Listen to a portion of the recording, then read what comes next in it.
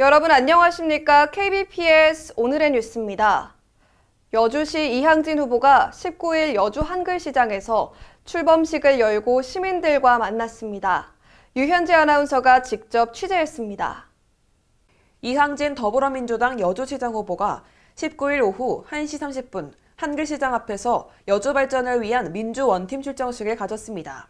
이날 출정식에는 이항진 여주시장 후보를 비롯해 유광국, 박광백, 경기도 의원 후보, 진선화, 박시선, 유필선, 최병식 여주시 의원 후보가 자리했으며 개회 인사, 국민의힘, 후보별 구호 저창, 지역위원장 인사말, 선거운동 7대 원칙 발표, 후보별 출마 해변 발표 순으로 진행됐습니다. 안녕하십니까? 여주의 100년 발전을 위하여 24년 만에 재선에 도전하고 있는 여주시장 이항진 인사드리겠습니다.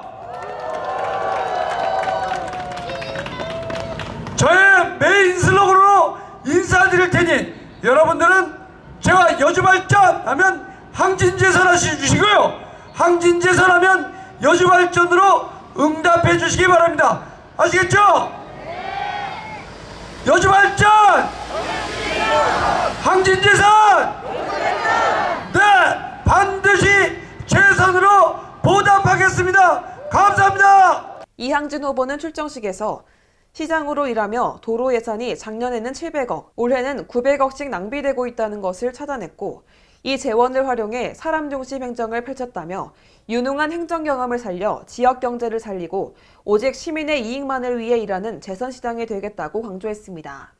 이어 4년간 빚 한 푼 지지 않고 지금은 땅값이 너무 올라서 사고 싶어도 못 사는 수많은 부동산을 사들였다며 이 땅을 이용해 여주 시민이 자유롭게 사용할 수 있는 공공시설을 대폭 늘리겠다고 말했습니다.